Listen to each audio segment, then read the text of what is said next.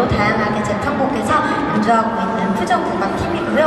어, 떻게 하면 여러분들께 조금 더 쉽고 또 재밌고 어, 가까운 국악을 들려드릴 수 있을까 항상 고민하고 또 그렇게 해서 연주하고 있는 퓨전국악 팀입니다. 오늘도 신나는 노래, 또 즐거운 노래, 또 조금은 슬픈 노래 이렇게 다양한 장르로 준비해봤는데요. 여러분들 이렇게 오늘 어, 저희 예결밴드 공연 함께 즐겨주세요. 그럼 먼저 굉장히 신나는 신고산 타령 먼저 시작해보겠습니다. 박수 많이 쳐주세요.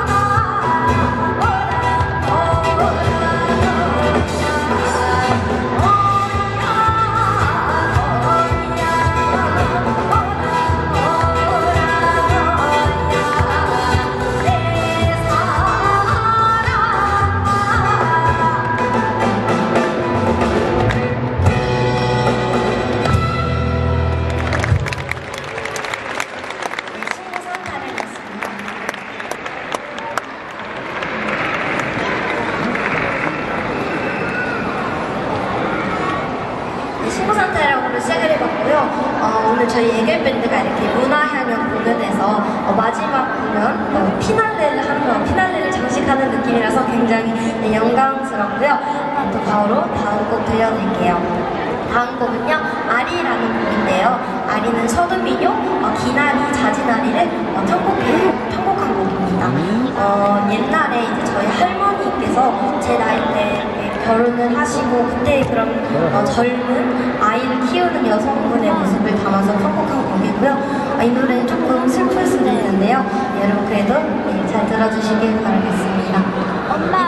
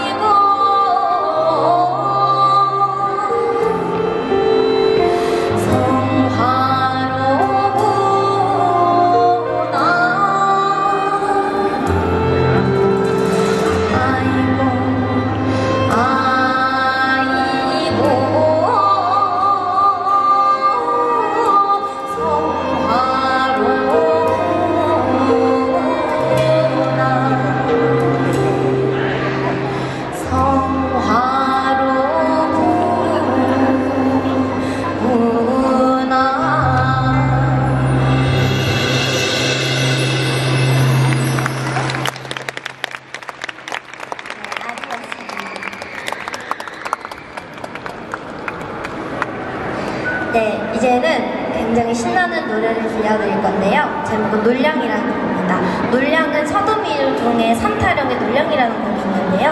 어, 저희 예계 밴드는 어, 굉장히 신나게 어, 편곡해봤습니다. 또 레게와 락이 섞여서 굉장히 신나는 곡이고요.